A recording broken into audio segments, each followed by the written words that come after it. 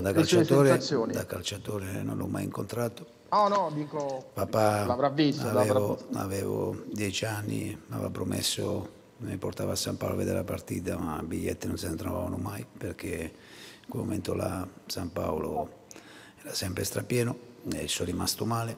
Ho avuto la possibilità tre o quattro volte cenare con lui, Mm, sono state serate indimenticabili.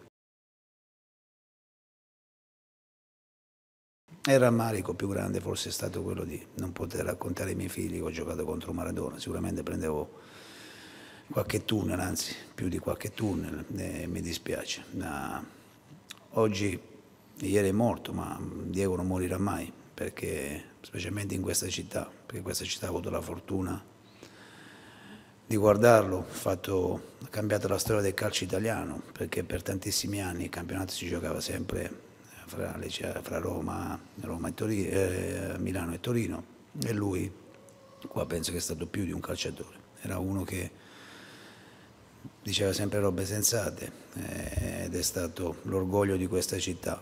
Prima a Sky ho fatto una battuta, ma non è una battuta perché è un dato di fatto, perché se, farà- se fanno un sondaggio penso chi è più famoso fra San Gennaro e Diego Armando Maradona, sicuramente il sondaggio lo vince Diego. E sicuramente, come ho detto già prima, ieri ci è venuto a mancare, ma rimarrà sempre vivo per quello che, che è stato, per quello che ha fatto, perché è stato qualcosa di straordinario.